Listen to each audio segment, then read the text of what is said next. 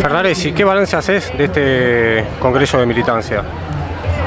Estamos en la mitad, yo sé que la verdad que en primera instancia, digo, superadora a lo que nosotros habíamos imaginado, pero sí habíamos identificado que era necesario generar este ámbito de participación militante del espacio del frente de todos en el kirchnerismo y bueno, y hoy se ve plasmado en esto que una alegría, a pesar del calor sofocante, la participación extraordinaria, bueno, y vamos en un proceso de generar una escalada de acciones que tenga que romper con esta proscripción nefasta que hace la Corte sobre Cristina.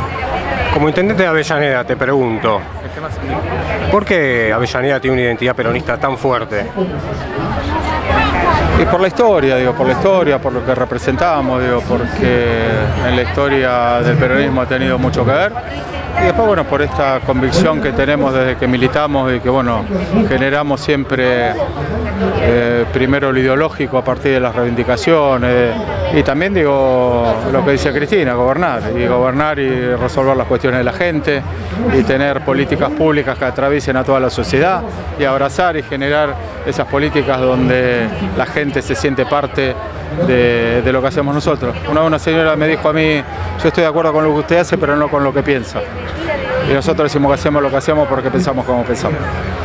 ¿Y por qué consideras que tiene que ser Cristina la candidata y no otro referente del peronismo? Y porque nosotros podemos plasmar un proyecto, podemos plasmar eh, una propuesta, pero la propuesta puede que concretarla y la gente confía que en la única que puede concretar eso que falta de esa transformación es Cristina, así que por eso Cristina.